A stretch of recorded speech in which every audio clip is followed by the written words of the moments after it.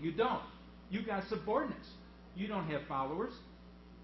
As a matter of fact, I know some instances when you become a manager, you don't, not in my case, but you didn't even have subordinates.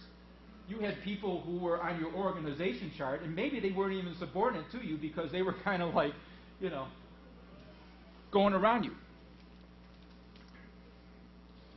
So I think that in servitude, you do and can succeed. And I want you to remember that. And don't be afraid to go out there and live your Christian values. So I'd like to get back now to my number three. So if you have energy, and you come and insert that in the energizing bunny, and maybe two or three of you, and you start energizing people, great. Are you working on the right things? You won't get rewarded. They'll say, great, but you know what? We wanted to go right, and you went left. You know, that was a great idea, but not something we really wanted to do.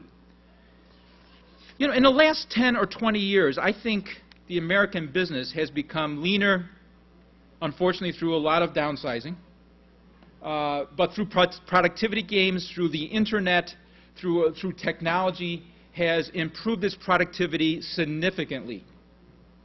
So we should just stop now and we are done. No, you're the next generation that's going to have to improve the productivity tenfold again. You know, we were forced into this by our worldwide Japanese competition, okay, who could do things faster and better than is the Chinese and the Indian competition. Efficiency means finding better ways to achieve tasks. It's a constantly improving process, and if you haven't looked at Six Sigma, Lean Six Sigma, as we practice it, and everybody at Xerox has got to go through that process, you probably ought to go find a course uh, on campus or off campus, or you know, you can learn remotely and, and look at least what Six Sigma and Lean Six Sigma is, is all about and how you improve error rate and how you improve efficiency in the system. It reduces capital or time. And capital, I mean not just dollars. I mean human capital and time is, you know, time is valuable. So constantly you need to change. And you will need to change during your career. Now, I had a career, I started out as an engineer, believe it, in the computer industry at Univac. Anybody remember Univac? No, you, were never, you weren't even born then. It's now called Unisys. Anybody remember Unisys?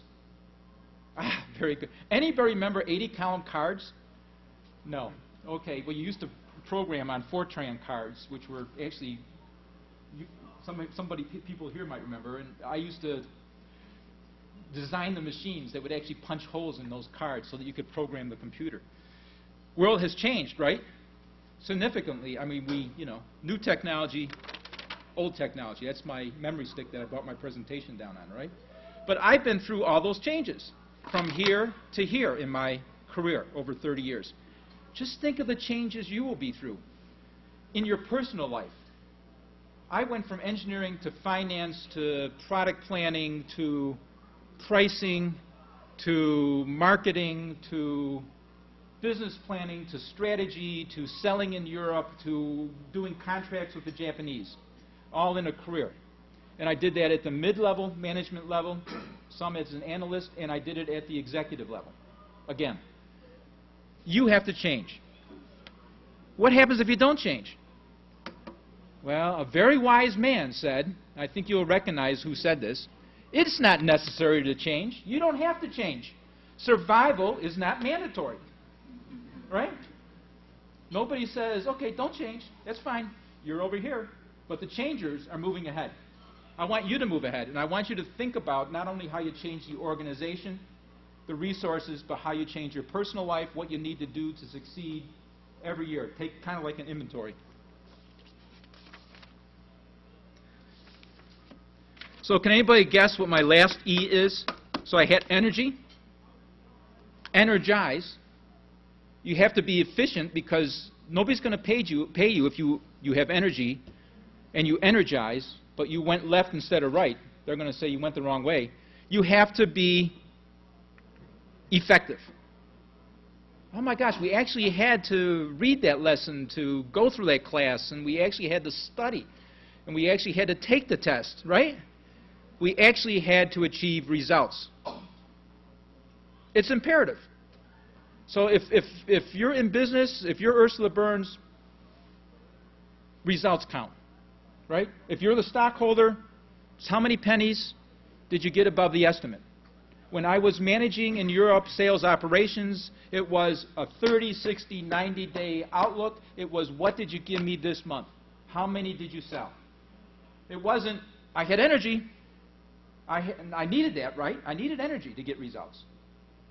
So I needed that. I needed to energize my, my troops and, and other people outside my organization, you'll find. And I needed to be efficient.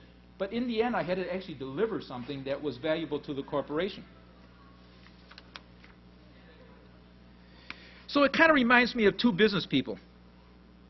And they're sitting there at Starbucks again, spending a lot of money because they think they're rich. Okay? So not only are they having, they're having a $2 muffin, too, with the $6, so it's like $10 each. And one says to the other, How was your revenue? And the other guy, Tom, says, You know, my revenue is fantastic. You know, my revenue was up 30% this year. Woo! Wow, you know, we're doing great. 30%. Have another six bucks of coffee. Fantastic. You know, my revenue is just great. Hmm, okay, yeah, thanks for the coffee. How was your profit? Oh, profit? Well, profit was okay. It was 10%, up 10%. Not too bad. You know, we did have some margin issues. So while I gained 30% on revenue, I only had 10% on profit. You know, we paid a little bit too much. You know, oil prices going up. We had some margin issues. Ah, oh, okay. But, you know, still good. We're still having a Christmas party. We're still celebrating. Everything still looks good. Mm, great. How was your cash flow? Oh, cash flow is terrible. You know, really bad. Cash flow. We don't have any cash. Matter of fact, we bought too much inventory. It's sitting in the back of the trucks. You know, we're going to have to close two plants, and we might have to close the company. Right? Know what's important. Cash is king, I think uh, Cramer would say, but uh, I watch him. I'm trying to manage my stock portfolio. Know your results measure. What's a result, results measure? Has anybody heard of a results measure? A results measure is what you're trying to achieve. So it could be revenue, could be profit, it could be cash flow, it could be market share. It's the results, the end results that the corporation is trying to achieve. But you have to, you don't manage revenue. You manage performance measures. A P measure, anybody know what a P measure is? It's called a performance measure. Is there an example of a performance measure that anybody can give me? See, I got questions for you. Later you'll have questions for me. Well, a quick example of a performance measure might be how many calls did the salesperson make today? Because I know if that salesperson, when I was in sales, made 10 calls today and 10 calls tomorrow and 10 calls the next day and the next day and the next day, they would eventually have enough calls and fill up my bucket of calls equaled eventually in some kind of uh, formula meant we actually sold something. So a performance measure, what leads to a results measure? It's the way you get there. So you have to understand what am I trying to achieve, your results measures, but how do I get there?